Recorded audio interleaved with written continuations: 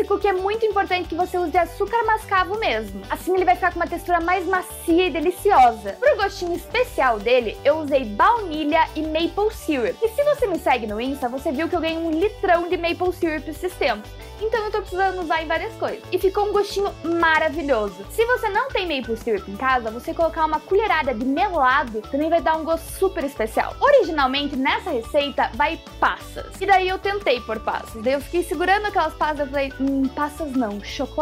Se você é do time passas, você pode colocar meia xícara na massa mesmo e vai ficar bom pra você que gosta de passas. Como eu não sou muito fã, eu coloquei um pedaço grande de chocolate em cima. Agora sobre como você vai assar os seus cookies.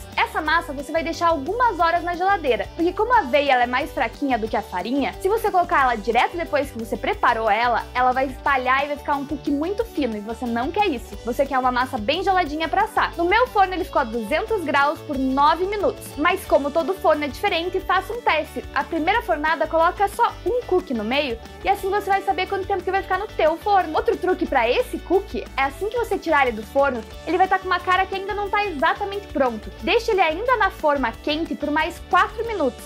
Assim ele vai continuar a assar fora do forno e vai ficar na textura perfeita.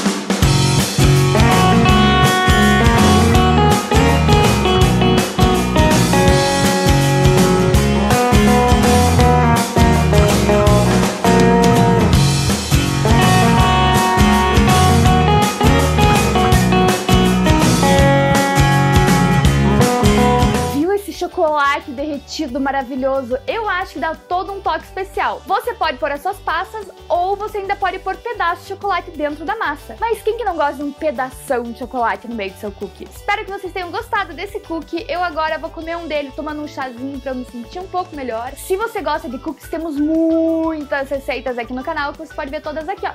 Não se esquece de me seguir em todas as redes sociais para não perder nada. E você sabe, se gostou, dá um like, se inscreve no canal e volta sempre. Tchau!